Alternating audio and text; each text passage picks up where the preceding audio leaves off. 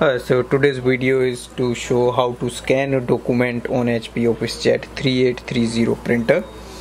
The first step we will do is switch on our pen printer.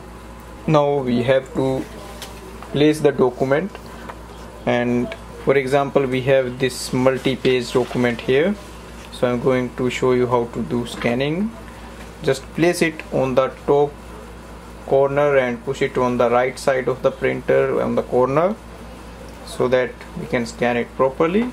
Now place it on the scanner.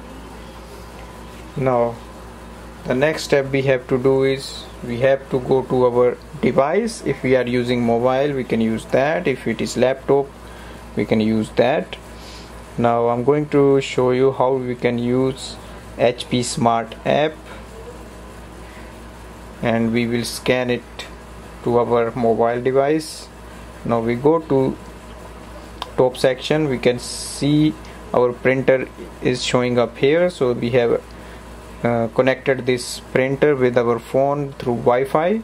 Now go to the scan section. Just press on the app. Now we have to press the scan button. For that we just have to add more copies. So that is the one.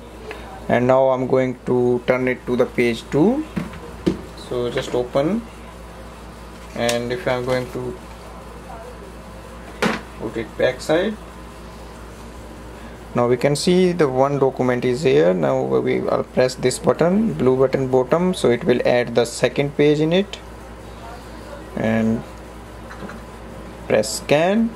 Now we can see here it says page 2 of 2 so we have two copies here. The first page and the second page now if we want we can save it and it's done. If we want we can add more of that.